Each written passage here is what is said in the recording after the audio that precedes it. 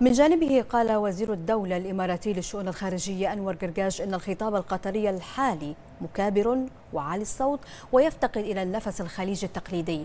وأشار قرقاش أن الخطاب يفتقد للصراحة مع ماضيه وممارساته ويريد أن يفرض تسويته بشروطه معتبرا أن الخروج من الأزمة يعرقله عدم الإقرار بالضرر على الجار وغياب الموضوعية يقود لتعقيد الأزمة في دهاليز الشكاوى ووصفه بالطريق المظلم الذي لا يؤدي إلى نتيجة.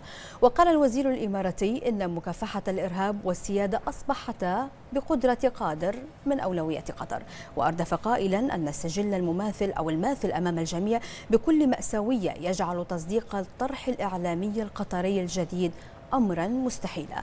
وأوضح قرقاش أن مظلومية التصريحات القطرية مذهلة وتحمل المسؤولية وعن السلوك غائب تماما وكأن الدول الداعية لمكافحة الإرهاب قد اتخذت من إجراءاتها لأن المنطقة بحاجة لمزيد من التوتر.